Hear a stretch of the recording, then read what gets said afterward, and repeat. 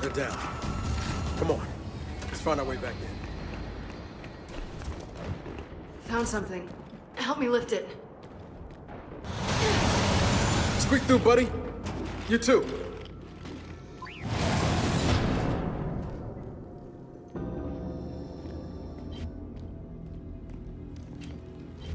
Okay, those are definitely not stasis tanks. But what the hell are they?